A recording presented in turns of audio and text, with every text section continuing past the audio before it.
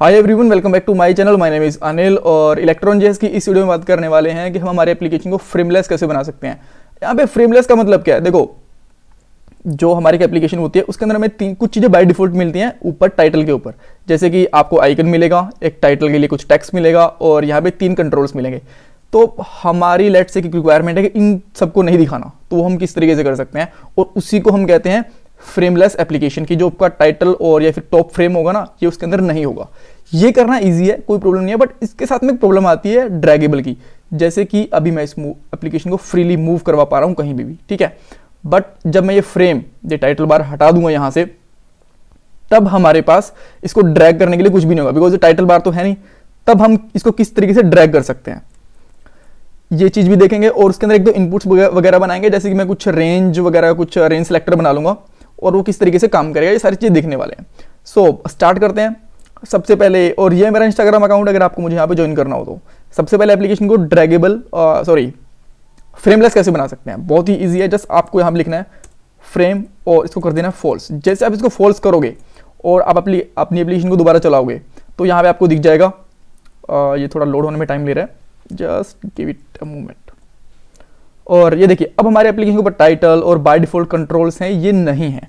इसकी ज़रूरत पड़ती है कई बार हम हमारे एप्लीकेशन को ज़्यादा स्टाइलिश बनाना चाहते हैं या फिर हमें बाय डिफ़ॉल्ट कंट्रोल हमारी रिक्वायरमेंट में नहीं होते तब। ऑल राइट बट देखो अब मैं इसको मूव नहीं करवा पा रहा हूँ कहीं पे भी। इवन ये टेक्स्ट सेलेक्ट हो जा रहा है और जैसे कि एक वेबसाइट में टेक्स्ट सेलेक्ट होता है वैसा एक सॉफ्टवेयर में नहीं होता है।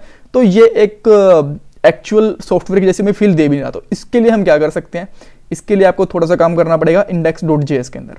यहाँ पे जो आपकी आ, सबसे पहले विंडोज़ प्रॉपर्टी है इसके अंदर आपको लिखना है स्टाइल और यहाँ पे लिखना है सिंपली यूज़र सेलेक्ट और यूज़र सेलेक्ट लिखते ही आ, आपको एक प्रॉपर्टी ऐड करनी है बेसिकली जो है कि नन अब क्या होगा जो आपका बाय डिफ़ॉल्ट टेक्स्ट है ये सॉरी इसको मुझे रिफ्रेश करना पड़ेगा कंट्रोल आर से इसको कंट्रोल आर करता हूँ बाद में सेलेक्ट करने की कोशिश करता हूँ तो ये सेलेक्ट नहीं हो रहा है.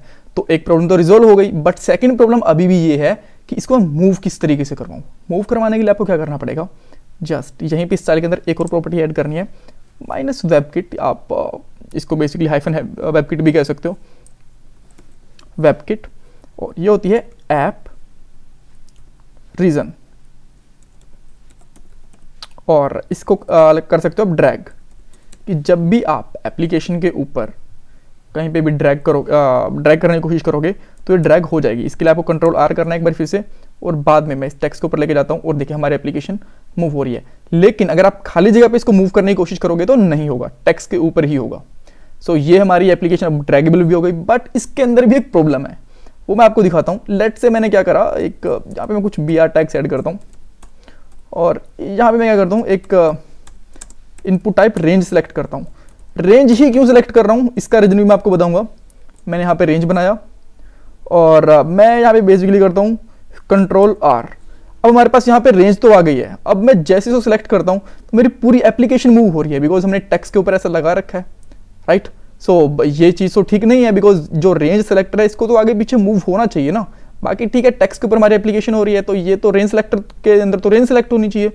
तो इसको कैसे कंट्रोल करेंगे? इसको कंट्रोल करने के लिए हमारे पास एक सिंपल तरीका होता है। इसके अंदर हम स्टाइल ऐड करो जस्ट सिंपली और जो आपने यहाँ पे लगाया ना वेबकिट ऐप रीजन सिंपली इसको यहाँ पे भी लगा सकते हो बट आपको यहाँ पे एक प्रॉपर्टी चेंज करनी पड़ेगी। ड्रैग की जगह पे लिखना पड़ेगा आपको। No minus drag no hyphen drag भी बोल सकते हो। और इसको कंट्रोल आर करोगे एक बार फिर से। और अब देखोगे, यहाँ पे परफेक्टली काम कर रहा है और यहाँ से हमारी एप्लीकेशन मूव भी हो रही है। तो इस तरीके से हम हमारे एप्लीकेशन को फ्रेमलेस बना सकते हैं, उसको ड्रैगेबल बना सकते हैं, और उसके जो बाय डिफ़ॉल्ट ड्रैगेबल के इशू हैं, उनको भी रिजोल्व कर सकते हैं। So thanks for watching this video कुछ कन्फ्यूज़न है तो मुझसे पूछ सकते हो। चैनल को सब्सक्राइब करना बिल्कुल मत भूलना। Bye bye take care